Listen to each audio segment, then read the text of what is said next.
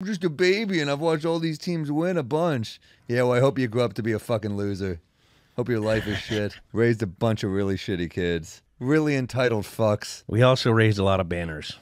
Yeah, you did. But those kids stink.